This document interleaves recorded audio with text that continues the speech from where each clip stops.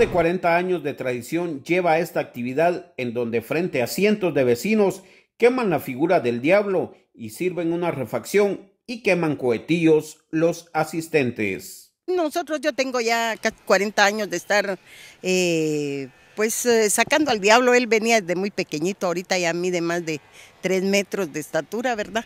Y hasta donde el Señor me lo permite hacerlo, pues aquí vamos a seguir con la, la tradición, ¿verdad? Que no es solo aquí en Huehue, sino es eh, a nivel nacional, que esto da inicio a las fiestas navideñas.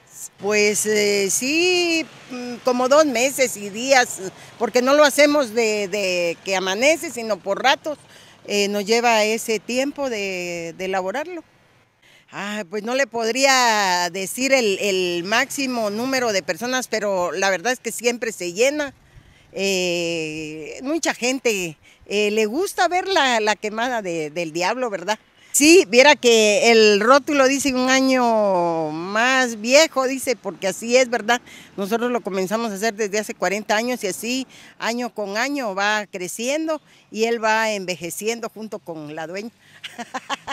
Doña Leticia comenta que la tradición se está perdiendo año con año por lo que insta a la población a no dejar morir estas tradiciones que identifican a Guatemala. Era que como nosotros eh, nos gusta la tradición, yo la traigo desde mis padres, porque ellos también quemaban, no quemaban, sino se sacaba la basura antes y eso era la quema del diablo.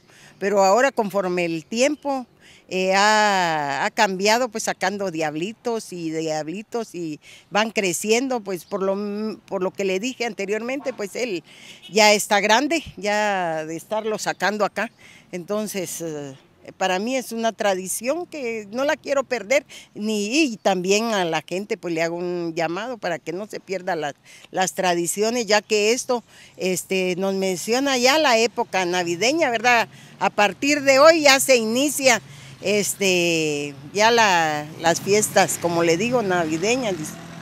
Reportó desde Huehuetenango para Canal Antigua, Gustavo López.